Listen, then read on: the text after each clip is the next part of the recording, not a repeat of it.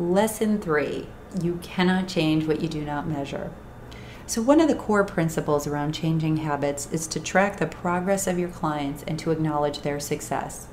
Whenever I'm working with clients to modify any aspect of their life, I first meet with them to discuss their problem, assess their level of motivation, and clearly identify their goals. I then design the appropriate baseline assessments to track progress on those goals. Given that I work with a high performance organ, the brain, I inspire those that I work with to achieve health and fitness goals to put them in an optimized range versus a normal range. In this lesson, you'll learn why this is important as a brain fitness coach. So the question becomes how do we modify our habits to achieve our desired goals? In order to address this question, we need to understand how our mind operates. Our subconscious mind wants to keep us safe, so it is very resistant to change. Even when we are excited to make changes in our life, the subconscious likes what feels safe and familiar, so it often stays rooted in behaviors that may no longer serve us. It can bring up feelings of fear of the unknown, resistance to change and forming new habits, and doubt that you can do it, all of which makes achieving these goals feel like an insurmountable obstacle. This is also where 70% of the negative thoughts become important to identify and diffuse. However, once the subconscious believes that there's nothing to gain from holding on to the problem, it will often be open to change. In order to modify a habit, you first need to identify your goal. Is it weight loss within a specific time period? Is it a brain health goal based on medical concerns, for example, diabetes, hypertension, or risk of stroke?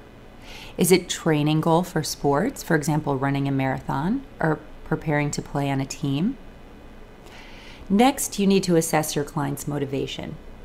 Given that your client should be the one identifying their goal, with your modifications based on your experience of how quickly they can achieve that goal, the motivation should be easily present. Are they doing this for themselves, their family, their loved ones? If it is a goal around health and fitness, those have long range implications. Many of my younger clients have motivating factors around vanity or wanting to look good for their partner, while my older clients are more motivated to stay fit and healthy so they could watch their grandchildren grow up.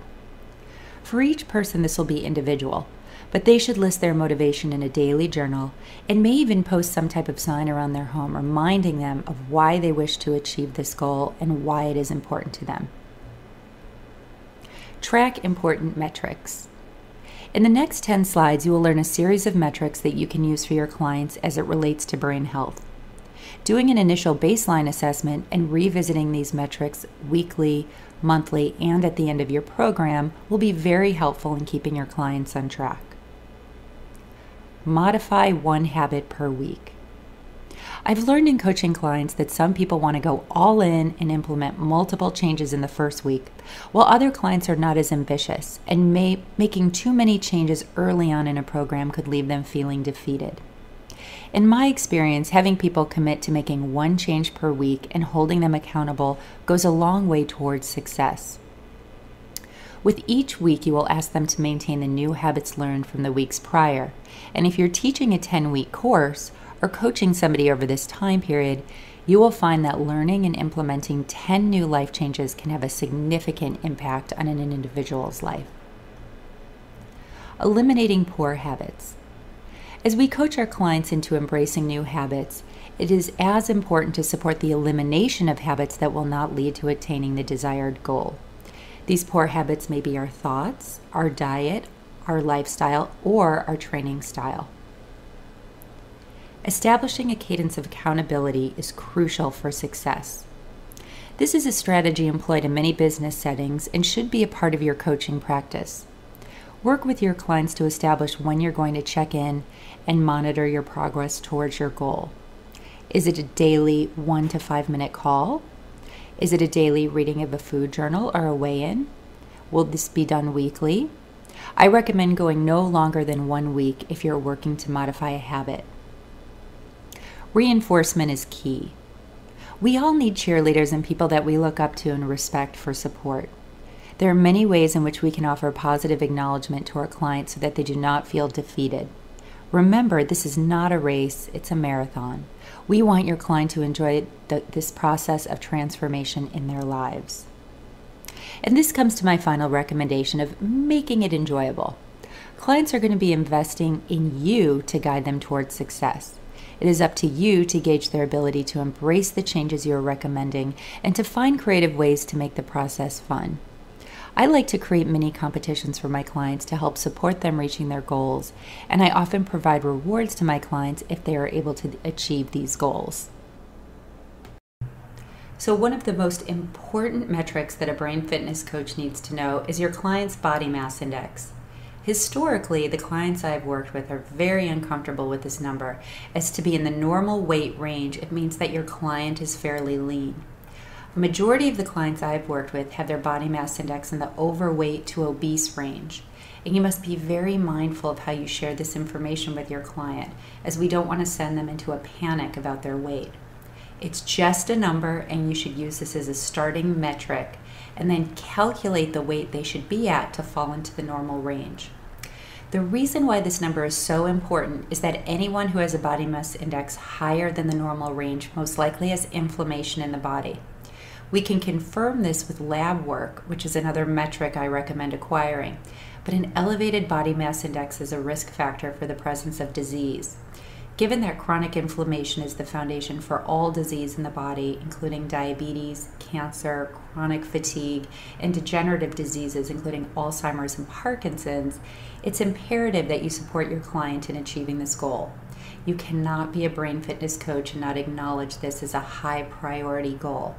In the clinical setting, we would collect body mass index as well as a measure of the circumference of the waistline to readily assess if we were working with somebody who has metabolic syndrome.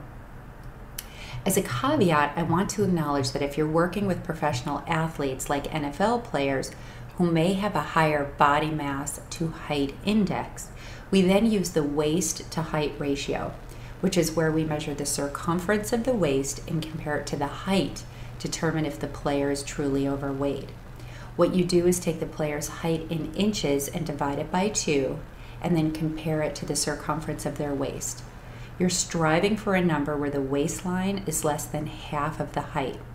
So, for example, if you're working with someone who's six foot two or 74 inches, and they have a 44 inch waistline, which means you measure around the belly button, not below the belly, they are overweight. A 6 foot 2 inch player should have a waistline of 37 inches or less. Don't let them convince you that they're big bone to explain why they have a larger waistline. Trust me, I've heard it all. I will visit this topic in greater depth in our lesson on obesity. Conversely, clients who have a body mass index below 18.5 have a different issue. In these clients, we want to make sure they're getting adequate foundational nutrients to support optimal brain and body function. These individuals may have issues around eating disorders, and you may require the assistance of a medical professional in this circumstance. As a way to make this process easy, you can use the online body mass index calculator to get this metric. I have put my numbers in as a guide. So I'm six feet tall and I weigh 145 pounds, which puts me at a body mass index of 19.7. The circumference of my waist is 27 inches, which is well below the 36 inches that my height deems appropriate for my waistline. This is why you can see the waist to height ratio is a much better metric to use for men who have more lean muscle mass and may carry more weight than women. The next metric I recommend capturing is the number of calories your client consumes daily. This will be helpful in gaining an idea on what calorie range your client needs to be eating to get their body mass index in the normal range. Again, I've put my numbers into this calculator, and according to my age, gender, height, weight, and activity level, I can eat up to 2,400 calories per day to maintain my current weight. It also gives caloric goals to help people structure their eating to lose one to two pounds per week, which is actually a very healthy way to release weight from the body. In my experience of teaching weight loss groups for years, I normally don't have women eat over 2,000 calories in any given day. As I am an endurance athlete, this calorie calculator has given me extra calories to account for my high activity level. I mention this as I want you to be conservative with your clients when using this calorie calculator. Do not give them reason to think that they can eat more calories than needed. Your best bet may be to use the no exercise setting to get the best caloric read for your clients. If they are semi pro or professional athletes, marathon runners, boxers, etc., you should use the activity measure in determining their appropriate caloric intake. I have to share that one of the easiest things to change, but what most people are resistant to, is optimal hydration.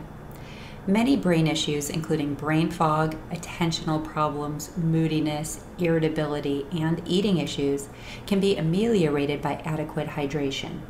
Many of you may have heard of the equation of drinking half of your body's weight in ounces of water for optimal hydration.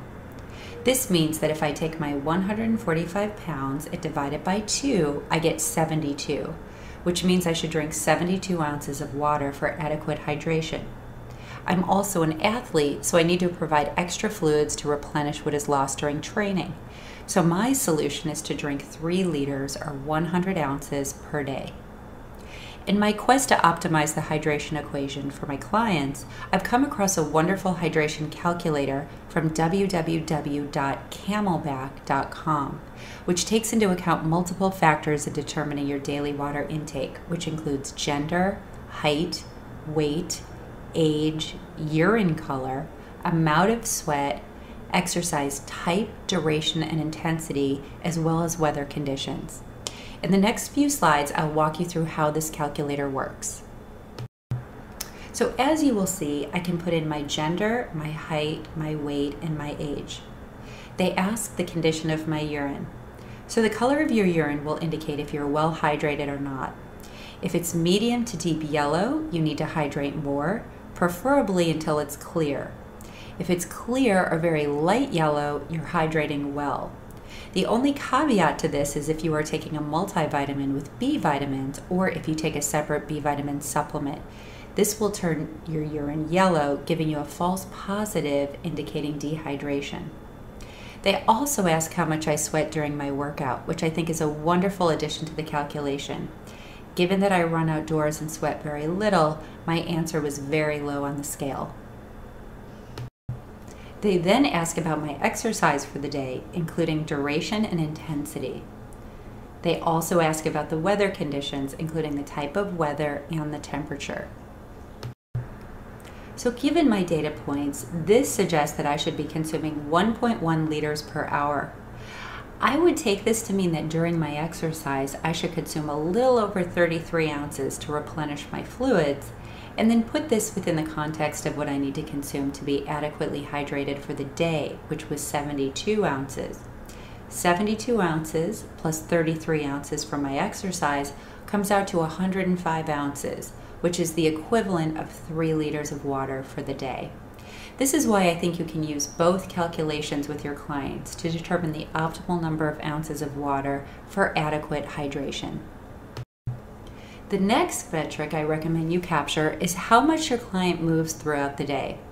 There's a wonderful iPhone app called Steps that I admit I'm mildly obsessed with. Steps will calculate how many steps you've taken throughout the day and will give you daily metrics around your mileage and calories burned. It has set a goal of 10,000 steps per day for optimal health. So whenever I go over 10,000 steps, it puts me in the green zone. It also congratulates me when I've achieved this goal. If I don't achieve 10,000 steps, it changes to either an orange or a red color. Prior to using this app, I had no clue about tracking my movement. Once I started using steps, it got me even more engaged and mindful about always meeting the 10,000 daily step goal. Given that I'm a runner, I always meet my goal, but on days I don't run, I make sure I take the dog on long walks so I continue to move. I highly recommend using this app to track movement goals. As noted in the previous lesson, meditation is an important practice which serves to move energy or life force throughout the body, as well as quiet the nervous system, hone our powers of concentration, and to create a space of peace and tranquility in our lives. I'm excited that Muse has created a technology that allows us to measure our progress on achieving our meditation goals. In working with clients, whether one on one or in a group setting, I would often do a five minute session at the end of our time together to teach them how to meditate. This also serves as a practice that, when done together, would serve to inspire them to do it at home.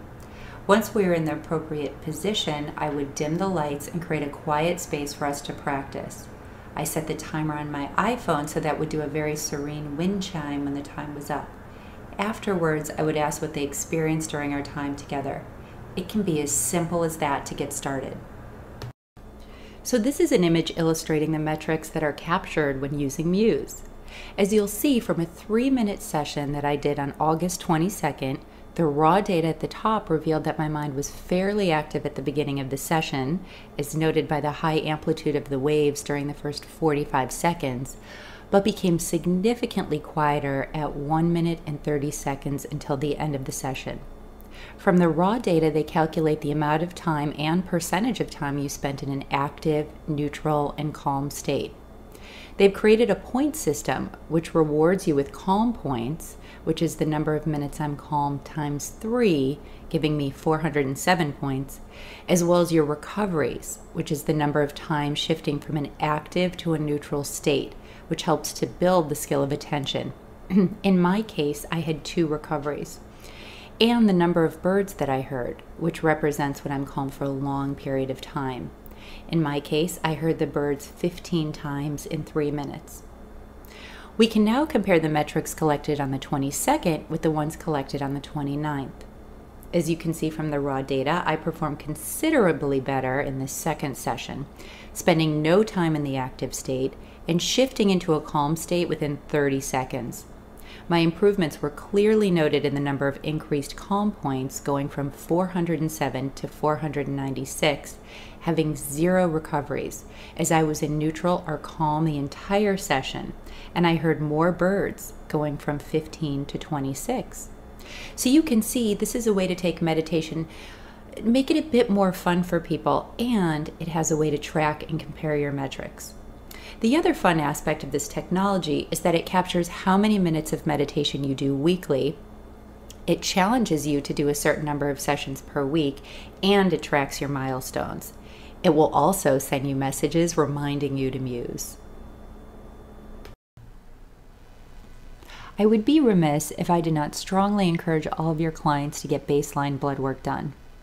I strongly advise clients to go to their primary care physician to get this done annually, and the birthday is always the best time. As a brain fitness coach, you would be doing your clients a service by encouraging them to have these baseline labs done. While examining the results of these lab tests is beyond the scope of this course, the physician can serve to help your clients to get some of the metrics that are not in the optimized range back on track. In some cases, there may be an underlying metabolic, immune, or hormonal issue that may require the expertise of a physician or functional medicine practitioner to diagnose and treat. I will briefly discuss each test and give you some indicators of what you should be looking for. Clearly, anything out of the normal range will be your primary indicators of dysregulation in the body, but we can hone in on key elements that point to areas that need to be addressed in the diet and lifestyle. Metabolic panel. A comprehensive metabolic panel is a blood test that measures your sugar level, electrolyte and fluid balance, kidney function, and liver function. This is part of a regular health checkup and it will allow you to monitor any medical conditions. Fasting blood glucose. This is a test that is used as a diagnostic tool to identify if you are pre diabetic or diabetic. It is only taken after an overnight fast a blood sugar less than 100 milligrams per deciliter is considered normal. Levels between 100 to 125 are considered pre diabetic, and 126 or greater indicates diabetes. Optimized levels of blood sugar would be in the range of 80 to 90. If your client has a body mass index over 25, they should have their fasting blood glucose measured. Hemoglobin A1C. This blood test indicates the amount of sugar that has been circulating in the bloodstream over the last two to three months. It measures the percentage of blood sugar attached to hemoglobin, the oxygen carrying protein in red blood cells. A level of 5.6% or lower is normal. 5.7 to 6.4% indicates prediabetes, and 6.5% or greater indicates diabetes. Lipid panel. The basic lipid blood test measures total cholesterol, triglyceride level, HDL, and LDL cholesterol. It is used to determine your risk of heart disease. Cholesterol is required for the synthesis of steroid hormones and is a component of cell membranes. If we do not take in enough cholesterol from the diet, the liver will produce it. We want your cholesterol to be less than 200 milligrams per deciliter. Triglycerides are the fats absorbed in the blood following a meal or are made by your liver in response to a diet rich in sugar, refined carbohydrates, and fats. We want your triglycerides to be lower than 150 milligrams per deciliter. HDL cholesterol is considered the good cholesterol as it helps to remove excess cholesterol deposits from the arterial lining. We want this number to be between 40 to 60 milligrams per deciliter.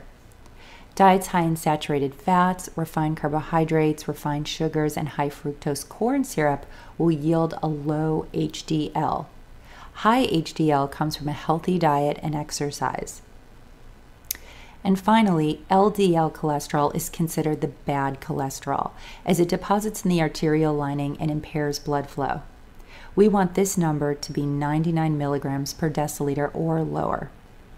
High LDL comes from inactivity, obesity, and diabetes, as well as diets high in refined carbohydrates, sugar, saturated animal fats, trans fats, and hydrogenated fats. Immune markers. A high sensitivity CRP test, or C reactive protein, is used to identify the presence of inflammation in the body. This is often given for an acute condition causing inflammation or when someone has an inflammatory disorder such as arthritis, autoimmune disorders, or irritable bowel syndrome. Vitamin D. Vitamin D is a steroid hormone with multiple functions in the body, including calcium absorption, enabling normal mineralization of bone, as well as modulation of cell growth, neuromuscular and immune function, and reduction of inflammation. 30 nanograms per milliliter is deficient, 30 to 50 nanograms per milliliter, there's a risk for inadequacy at these levels, so striving for greater than 50 but not higher than 80 is considered a more optimized level. And finally, hormone panel. As hormone production declines with age, it is important to have an annual panel done to support mood, alertness, and feelings of well being and optimal body function. In women, hormones like estrogen and progesterone not only play a role in conception and pregnancy, but they serve to maintain skin, hair, bone, kidney, and liver function. Progesterone is a natural calming agent to the nervous system. DHEA is a steroid hormone produced by the adrenals in the brain and is a precursor to testosterone and estrogen. Testosterone can enhance energy and lean body mass.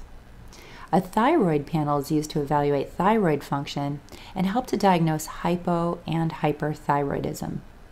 The thyroid is very important in the control of body temperature. If a person has a low body temperature, the functioning of the thyroid most likely is impaired.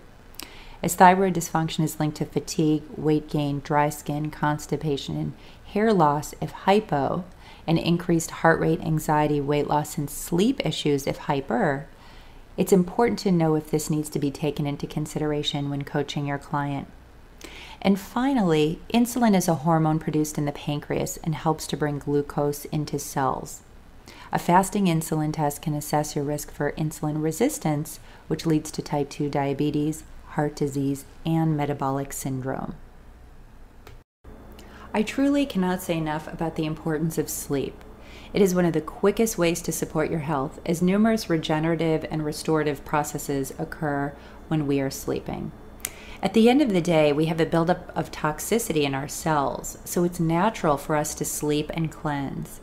Toxins are carried out of the cell by sodium and calcium via diffusion through the cell membrane and enter the lymphatic system and then enter the blood.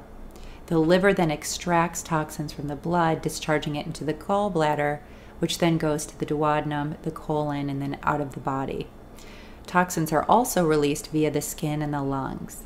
So we need to detoxify daily in order to stay healthy. If all is working well, you will wake up feeling refreshed and energized. If you're waking up feeling tired, then your body is not cleansing properly and the cellular exchange of electrolytes is most likely not functioning optimally. So, why is restorative sleep so important? Well, sleep plays a powerful role in allowing us to process memories and emotions through the subconscious. It's postulated that we only use 2 to 10% of our conscious mind daily, which means that 90 to 98% of our brain is engaged in subconscious patterns. One way to process reactive patterns is through delta slow wave sleep. When we're in this delta state, our brain is able to process emotions that no longer serve us. In addition, restorative sleep is involved in the consolidation of memories. What this means is that all the information that we take in during the day through our short term memory can then be categorized into long term memory when we sleep. So, one of the most important aspects of sleep, which has come to light in the past few years, is the discovery of the glymphatic system, which is a type of lymphatic system or brainwash that occurs at night and is responsible for washing away toxic proteins. So, improper functioning of the glymphatic system can result in the accumulation of amyloid plaques, which are the abnormally folded proteins that accumulate in individuals with Alzheimer's disease. Given that Alzheimer's starts in the brain 20 to 30 years before the onset of symptoms, abnormal functioning of the glymphatic system as a result of chronic sleep deprivation is something that is preventable but needs to be acknowledged as a growing epidemic. So, given that many of us do not know what our sleep patterns are, I strongly recommend getting a sleep tracker like Up by Jawbone, which allows you to track the metrics around your sleep habits.